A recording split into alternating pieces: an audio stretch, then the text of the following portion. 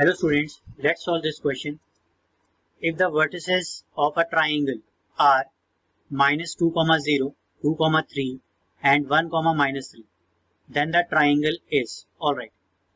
So student basically इस question में हमें क्या करना है हमारे पास एक ट्राइंगल के तीनों वर्टिस के कोऑर्डिनेट्स गिवन तो पूछा जा रहा है कि बताइए कि ट्राइंगल कौन सी कौन सी टाइप का ये ट्राइंगल होगा ऑलराइट तो सबसे पहले हम लिखते हैं गिवन उसके बाद हम फिगर बना के इसको क्वेश्चन को सबसे पहले समझेंगे कि कैसे करना है then we will start the solution so you can say here A is a point that is minus 1 minus 2 comma 0 another point is b, which is 2 comma 3 and the last point is c, which is 1 comma minus 3 alright?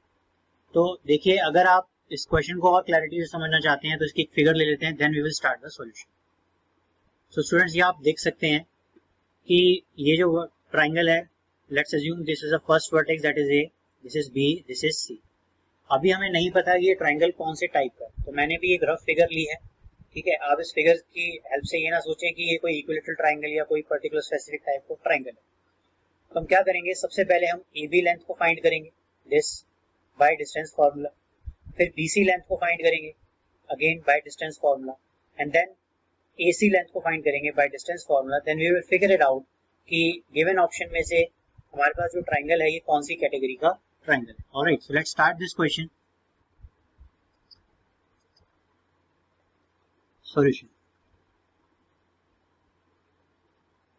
first of all बात करते हैं distance फॉर्मूले distance formula is under root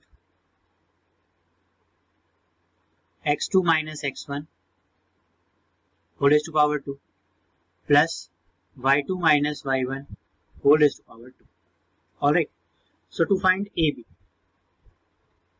A B find करने के लिए आप क्या करेंगे? इन वैल्यूज़ को यूज़ कीजिए। ए बी के लिए आपके लिए एक्स टू की वैल्यू हो जाएगी टू और एक्स वन की वैल्यू हो जाएगी minus two so you can say it is two minus let me correct this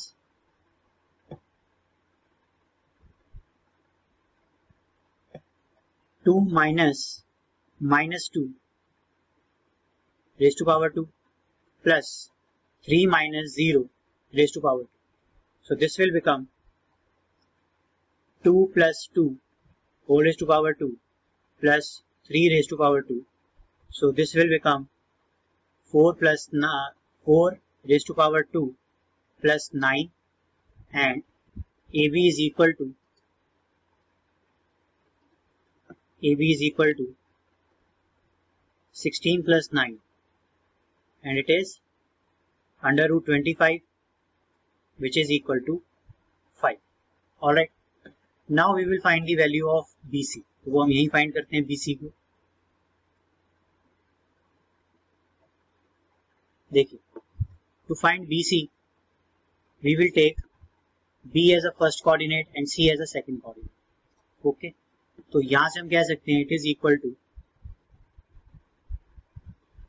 one minus two one minus two whole to power two plus minus three minus three whole to power two so this will become minus one raise to power two minus three minus three that is minus six whole to power two so this is one plus thirty six and this is equal to under root 37 okay now we need to find AC so to find AC we will take these two points and we will find the value of this यहाँ आप AC लिख लीजिए okay and coordinate of A as we know that it is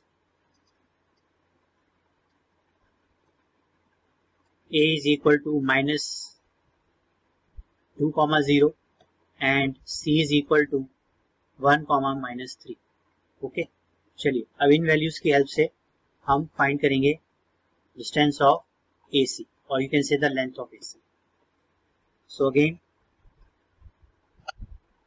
here you can say one minus minus two whole raise to power two plus minus three minus zero whole raise to power two this is one minus minus two means one plus two whole raise to power two and it is minus three raise to power two. So further you can say three raise to power two plus three raise to power two. So this is under root nine plus nine means under root eight तो आप देख सकते हैं कि तीनों ही side जो हैं वो डिफरेंट है. तो ऐसे में जो हमारा ट्राइंगल है, जिसमें तीनों साइड डिफरेंट हो तो उसको हम क्या बोलते हैं?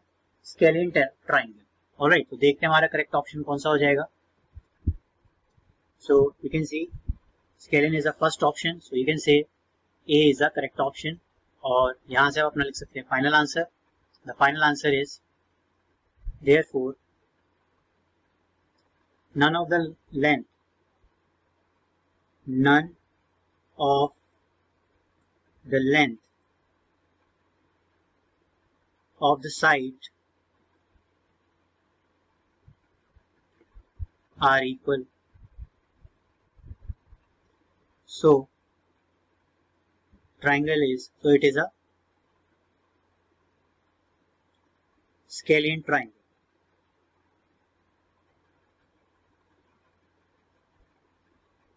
And correct option is A.